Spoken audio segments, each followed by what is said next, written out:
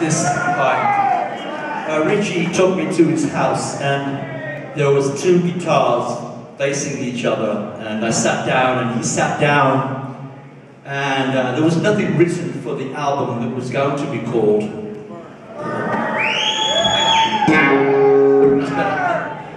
So he starts to play me this next piece of music that I'm going to sing for you and play for you. And when he started to play the opening riff, I said to myself in a very childish little boy voice, I think I'm going to be okay now. Trust me, I was okay before he played it, but uh, this is a song I'd love for you to sing with me. This is a pretty emotional, sensitive piece of music here. You want to hear this, right?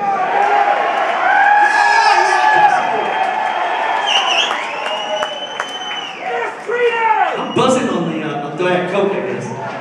I love you so much. Give it up for Jeff Coleman,